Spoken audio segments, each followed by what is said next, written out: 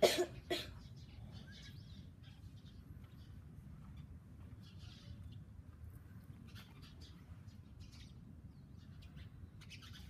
this is Asher.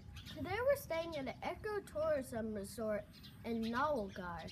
It's very nice and peaceful here because it's far away from the loud horns from the cars and the pollution.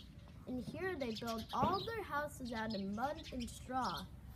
And they have solar water and they grow all their own food and they also use solar electricity and they even serve the food on these banana leaf plates and then compost them. Bye.